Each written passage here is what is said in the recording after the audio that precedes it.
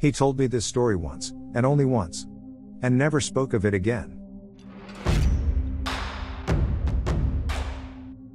If you like true revenge stories, you found the best place for your vengeful needs. I create them with fleeky visuals, dipped in artificial love. We start off with a rich redneck, who doesn't show of his riches, which makes him an easy target in the eyes of a new entitled community of Chads and Karens. They try to sue him into submission, while being ignorant of the fact, this redneck has a protective Meemaw, who is madder than a wet hen. Followed by a story in which a grandfather sheds light on a small town secret, from the Peruvian town he used to live. Lastly, a kid shares the secret story of his dad, that he only told once in his life. His dad emphasized to never do what he had done. His story starts with the creation of bicycles, that were forged specifically for revenge. Before we start, make sure when you're at the like button's housewarming, you rearrange the contents of the kitchen drawers. Let's dive in. Naturally, viewer discretion is advised. These revenge acts might be disturbing to snowflakes, This is a story about my grandparents' friend. I was a young teen when I heard it, but given the outcome, this story has stuck with me. I've sat on this story for a while, but it's so satisfying to see a gaggle of Karens taken down a notch, that I figured I'd share. For the sake of this story, we will call my grandparents' friend William. Now, my grandparents knew William from way back. My grandmother knew him from school, and my grandfather met him after marrying my grandmother. Anyways, in the 60s, Grandma was a manager at the 7 Eleven. William led a crew that went there every day. It was the only gas station in a 30 minute radius, so everyone knew everyone in that sleepy coastal town kind of way. Now, one day, William was doing a job down on the waterfront and slipped, fell, and broke his back. While he was healing from the operation and was broke as a joke, my grandma would always make sure to send him something to eat, that she'd pay for. Specifically, when the crew would come in to grab their snacks and gas up, knowing William would simply skip the meal to save the money for his own family. My grandpa also took him to several doctor appointments, since William couldn't drive for a while. Besides, his tiny little wife couldn't wrangle him into a car by herself, even if she tried. William never forgot that. 20 years later, when he sold off his now very successful business and was a millionaire about 20 times over, he promptly told 90% of the world to go to hell, but kept those that had always been there for him close. Meanwhile, he never moved from the house that he'd had since before he was rich. His only concessions to his wealth were trips with his wife to see the world and buying up quite a few acres of the forested land around him. If you weren't his friend, you'd take him for every other blue collar worker in the town. There was absolutely nothing obvious to show that he was worth tens of millions of dollars. After his wife died in the 90s, William decided to take up a new hobby. As he lived outside of the city limits, he set up a sawmill and woodworking shop, got all the proper permits and everything. The saws were in a big old enclosed building in the middle of all that land, so in all honesty, no harm no foul, right? Wrong. The family that owned the forest behind Williams' land had just sold it to developers. Thus, the new luxury gated neighborhood, the first in the area, was born. Enter a plethora of Chads and Karens, who were mostly from up north and had moved down south to take advantage of the better weather and the nearby beach. It didn't take long before they decided to take offense to his little business venture on the other side of the 10 foot tall wall of their neighborhood because it didn't fit with the image of their community. You know, the community he was decidedly not a part of. So, they sued him. Didn't even try to start a dialogue with him, just up and sued him. William was livid. He was your typical coastal redneck and he would be damned if those damn Yankees told him what to do on his own property, that was not within city limits nor located in an HOA. William countered with professional noise studies that showed that some of the kids in that neighborhood drove vehicles that made more ambient noise than his little operation. Would they back off now, leave him be? Nope, the people in the neighborhood simply threw more money at the lawyers to continue on with the lawsuit. Essentially, their plan was to bleed him dry. Their lawyers, who were not locals, actually told Williams' lawyer that he should probably advise his client to close the shop, so that he wouldn't end up bankrupt, due to the resources being thrown at him from the homeowners. Due to the relatively modest surroundings of his home, the neighbors nor their lawyers had any idea the man was actually richer than just about all of them put together. All they saw was an older dude, who drove a beat up 80s model truck and wore Dickies jeans and work shirts, that lived in what appeared to be a relatively modest home, especially compared to their McMansions. When William's lawyer told him about that conversation, William lost his mind. I clearly remember his screeching into my parents' driveway in that old work truck, cussing up a storm and ranting and raving before he even got in the house.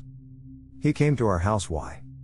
Because my grandmother, bless her heart, was known as one of the most giving people in the world. Unless, you pissed her off. If you hurt her or someone she cared for, she became one of the most vindictive witch that could be found in that town. I am not kidding when I say that her ability for revenge served cold was legendary amongst the locals. So William had come to the house for a dose of her deviousness. Us kids weren't allowed inside during that conversation, but after he left that day, I later heard the adults talking about how he proceeded to hire quite a few private investigators to see if there would be any dirt to dig up on them. By them, I mean the dozens of people in that neighborhood that were a part of that lawsuit. Lo and behold, there was apparently copious amounts of dirt to be had. I still remember him positively crowing about it to my grandparents, one fine summer day months later. That 60 something year old man was as gleeful as the proverbial kid on Christmas morning.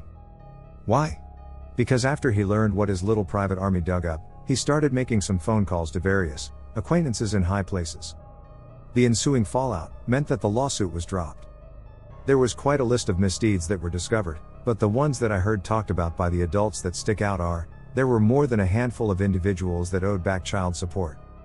William very helpfully had the private investigators provide the mother's updated address and employment information, so that they could pursue said child support slash garnishment if they wanted to.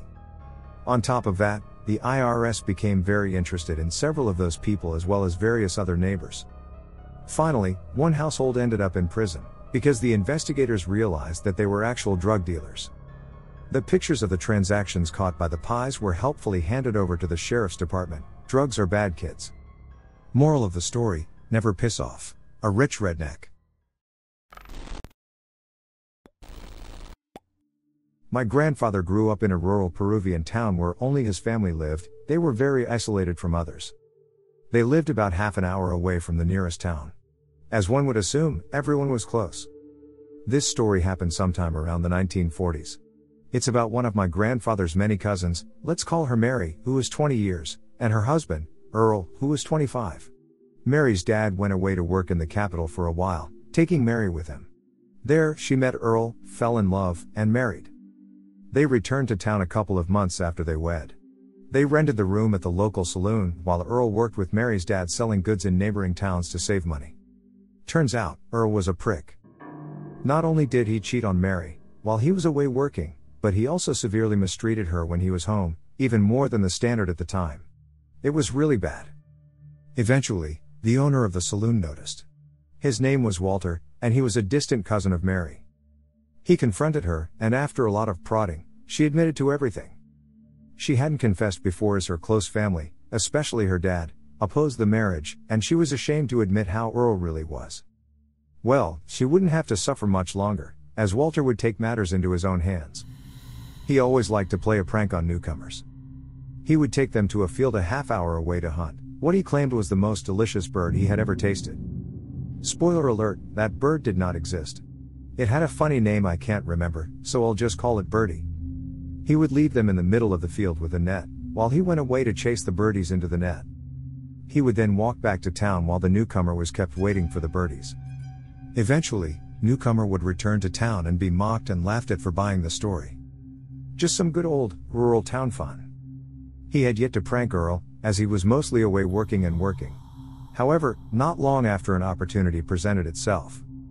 He was able to lead Earl away with the same story as always, but he didn't play the prank on him. Instead, he led him to a field 1.5 to 2 hours away instead, getting him drunk on the way. Letting him wait near a lake, where the birdies could be found underwater. He then returned to town, and claimed Earl had wanted to actually hunt the birds, not just wait, and it was hard to convince him otherwise as a way to excuse his tardiness. Earl's disappearance was noticed the next day by Mary's dad, when he didn't show up to his house or work and when he wasn't in the rented room. Walter gave his excuse, the others at the saloon and his wife corroborated his story. A few days later, Earl was found in the lake, he drowned. It was concluded that while waiting for the birdies, he'd gotten drunk, and when he attempted to return to town, he had gotten lost and fallen into the lake. Unlike her husband, Mary's life ended on a happy note.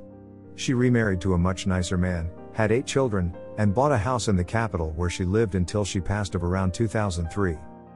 Walter also had a happy life and passed in the late 1970s. My grandfather only knew this story because he overheard Walter tell Mary's dad the true story. Apart from him, no one else but the three of them knew.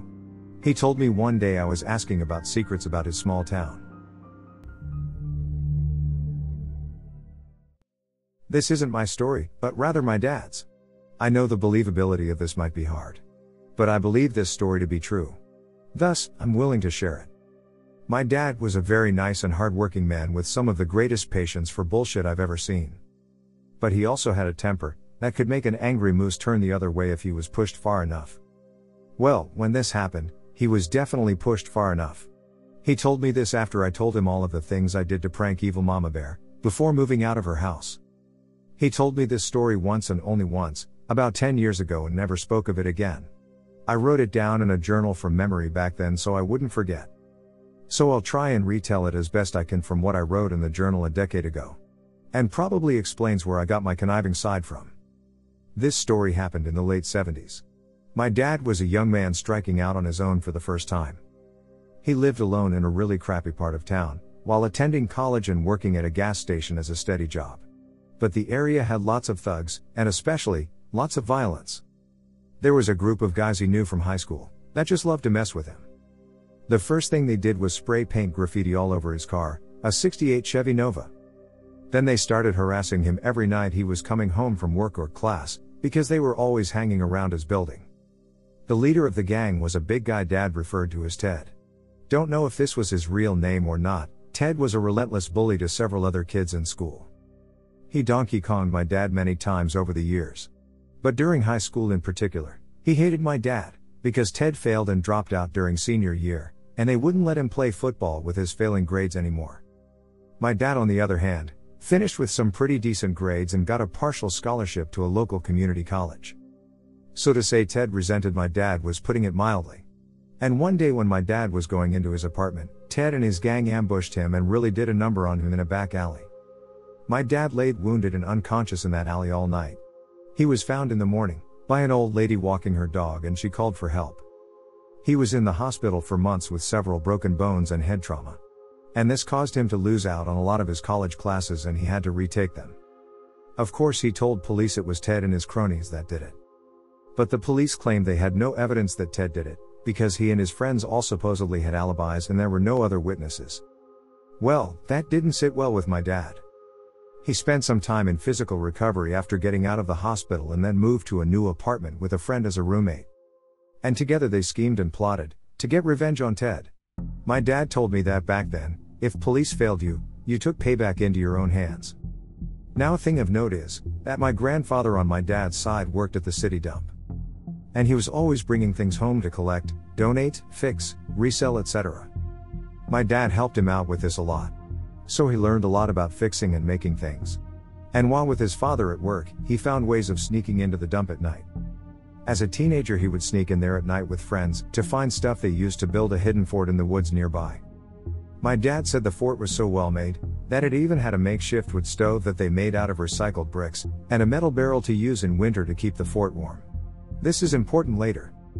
So, over a few nights, my dad and his friend snuck into the dump just like they used to in order to look around for things they could use. Bit by bit, they found some old stinky clothes, shoes, and some old wooden baseball bats, and a few other useful things for the revenge. The dump also had an assortment of used tools the employees found in the trash and set aside to be used on site, but also regularly borrowed. So no one really kept track of them. My dad and his friend kept all of the stuff they were going to use hidden, at the old fort they made as teenagers near the dump. So they had a perfect place to build the tools of their revenge. Next, they made sure they had as solid of an alibi as they could make. My dad and his friend were living on the top floor in an old three story apartment building, and was already well liked in the building for being handy and fixing a few things for his neighbors. The walls between apartments were kind of thin, so neighbors often heard the comings and goings of people on the same floor. They'd come out to greet my dad and his friend when they came home in the evening. And apparently the building had no fire escape. So the doors were typically the only way in or out. And the main door of the building was generally locked at night with a clerk sitting watch the entire time. They came home, checked in with the clerk, said their good evenings to several neighbors, and then locked themselves in their apartment.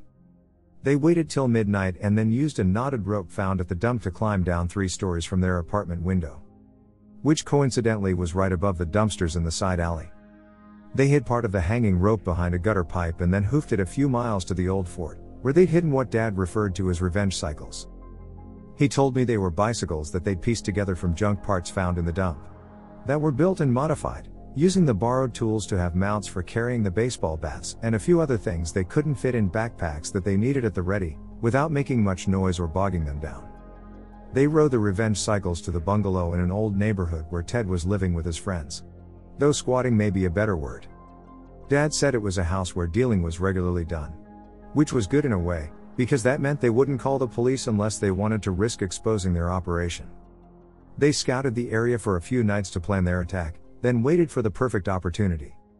First, my dad and his friend put on Halloween masks to cover their faces and took a tire iron that they'd brought and quietly removed the lug nuts from two of the wheels that were on Ted's crappy van. Then they spray painted an insignia that was used by another gang from the area on the side of the van to make it look like this was a rival gang dispute. My dad and his friend then spied on Ted and his gang for hours from the windows, using homemade periscopes that were painted dull black, so they wouldn't be seen. Ted and his cronies spent some time getting drunk and high until Ted got so wasted he went to bed. My dad and his friend waited patiently for Ted to start snoring and quietly snuck into the house through the window of the room he was sleeping in, locked the door from the inside, and bolstered it with a chair. Then, in unison, they donkey bashed both of Ted's spaghetti legs on the patella drums with their drumsticks. If you get what I'm saying. And when Ted tried to cover himself, they donkey bashed on his arms too. Then they held him down and emptied a plastic bag of fresh warm doo doo. They'd both contributed to making, all over his face before getting the hell out of there fast, because he was yelling for his cronies. Ted's cronies couldn't get into the room before my dad and his friend were out of there. They ducked into another yard and rode off on the revenge cycles from a different street before anyone saw them. But they heard from other people in the area that Ted's cronies tried to load him into his van to take him to the hospital. But as they got going, the wheels on one side of the van came off and they had to call an ambulance. The aftermath on both of Ted's patella drums made the doctor say that he'd never fully recover and would have to walk with a cane for years. As for Ted's cronies, a few of them got arrested. Police came to the hospital to take a statement from Ted and noticed a couple of them didn't look so good. They asked them a few questions, then searched them. They ended up in the slammer for drug possession. Which prompted police to search the bungalow they were living in, but some of the other guys were smart enough to move all of the narcotics to another location when they thought a rival gang was after them. So the cops didn't find much. Ted's remaining cronies later got cornered by my dad and his friend when they followed them in their disguises on the revenge cycles, to a back alley where they'd been known to regularly hang out and sell their garbage. And this time, they brought a plastic toy blaster, to force them to disarm them of their knives and such. Then they proceeded to bomba drum them with their bats. After this was over, my dad and his friend claimed to be with a rival gang and told Ted's cronies that if they didn't leave town, they'd get something a lot worse than a simple Donkey Kong bash fest. And for some added incentive, they sprayed one of their feet with lighter fluid and dropped a lit match onto them, causing the guy to freak out and kick his flaming shoes off. This seemed to work as all of them were gone from the city not long after that. My dad and his friend hid the revenge cycles and dropped the knotted rope from the window into the dumpster below, where they later retrieved it in the morning while taking the trash out and disposed of it. Dad and his roommate were questioned, but they claimed no involvement in what happened to Ted. And neighbors and apartment clerk all told them that they never left the building after getting home on those days. My dad and his roommate then let the police come into their apartment to search the place. But they didn't find anything that could be considered evidence, as they had already disposed of the stuff they used by taking apart the revenge cycles, and at night burned the baseball bats, masks, the shoes and clothes they wore, and the knotted rope in the fort's barrel stove till there was nothing left but ash. As for the plastic toy blaster, well, my dad said it was never real. But was instead could come of as such. Especially in the dark. And they got rid of it by tossing it into the dump. The cops were satisfied in the belief my dad had nothing to do with the incident and just bid them good day. Dad never told anyone else but me and his younger brother that he and his friend did all of that. As for Ted, Dad said he never really bothered anyone again. And he ended up eventually leaving town some years later because he was convinced another gang was still out to get him. What happened to him after that, Dad didn't know. I could tell he felt some measure of guilt for what he did back then. But also seemed to feel fairly justified in it as well since Ted had badly hurt many people around town, just like what he'd done to my dad. So I suppose it was well deserved on some level. But my dad adamantly told me to never try anything like what he did. And I can't say I blame him.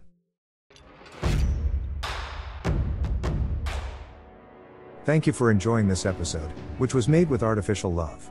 Subscribe to receive future episodes, and tickle the like button for good karma. Do you have any experiences surrounding this topic? Share yours below, I'll join the conversation. And I'll be seeing you in the next one.